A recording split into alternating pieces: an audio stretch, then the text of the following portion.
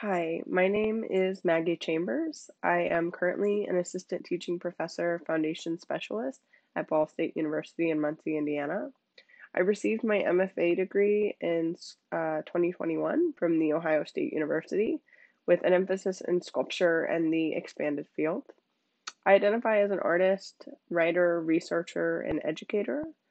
Uh, my research is based in material performance and the power of material surrogacy taking form most often as large scale ephemeral sculpture and uh, video projection.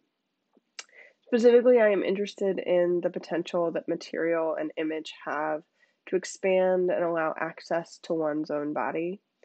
Uh, I am thrilled to be part of this group of emerging scholars, and for this conference, I will be utilizing the lens of my own invisible asexual identification to advocate for the dismissal of any framework of thinking that position's virtual space as anything less than real.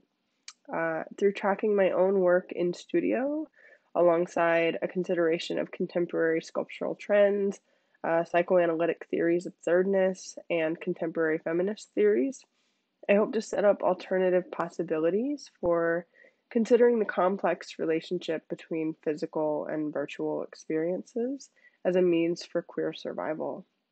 Uh, I look forward to engaging with complex and diverse discussions surrounding the nature, use, and practice of image, and I'm so excited to be part of this conference. Thank you.